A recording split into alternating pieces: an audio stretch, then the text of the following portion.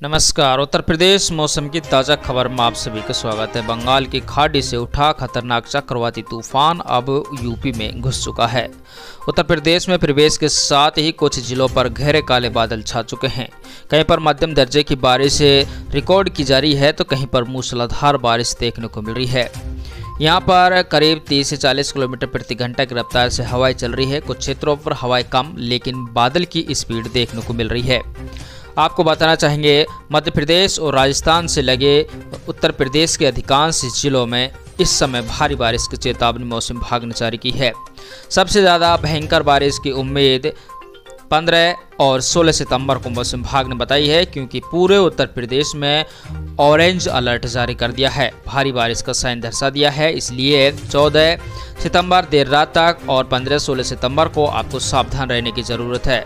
उत्तर प्रदेश के ललितपुर हमीरपुर, महोबा, झांसी, बांदा, चित्रकूट, कोसाम्बी, प्रतापगढ़, अमेठी, रायबरेली, उन्नाव, लखनऊ, कानपुर, इटावा, औरैया, कन्नौज, हरदोई, सीतापुर, बाराबांकी, इधर फैजाबाद, गोंडा, बहराइच शाहजहाँपुर बदायूं, कासगंज, एटा, फिरोजाबाद, आगरा, मैनपुरी, मथुरा, अलीगढ़, बुलंदशहर, बदायूं, बरेली, रामपुर, मुरादाबाद, बिजनौर, सहारनपुर, मुजफ्फरनगर, बागपत, मेरठ, गाजियाबाद गौतम बुद्ध नगर, अधिकांश क्षेत्रों में भयंकर बारिश की संभावना मौसम विभाग ने बताई है।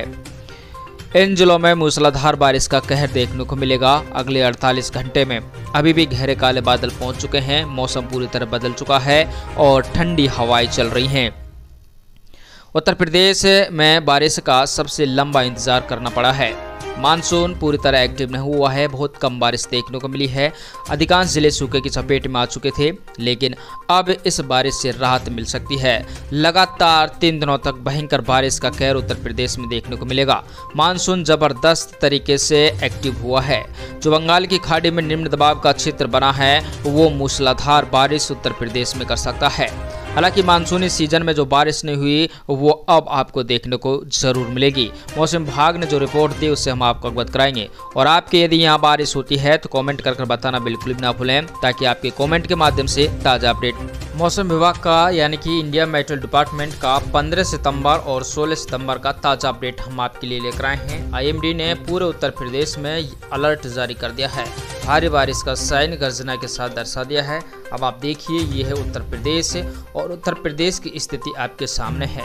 उत्तर प्रदेश में मूसलाधार बारिश का कहर देखने को मिलेगा। और बादल फट सकते हैं कुछ क्षेत्रों पर तो झम बारिश देखने को मिलेगी। और यहाँ पर दिया है कि भारी बारिश हुई गर्जना के साथ आपको देखने को मिलेगी। ये 15 सितंबर देर रात तक ऐसा मौसम बना रहेगा।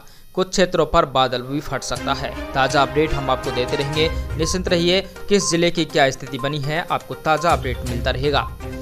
यहाँ पर हम बात कर लेते हैं 16 सितंबर को आईएमडी की रिपोर्ट का क्या कहना है। मौसम विभाग ने जो 16 सितंबर को स्थिति बताई है, उसमें कोई परिवर्तन नहीं किया है।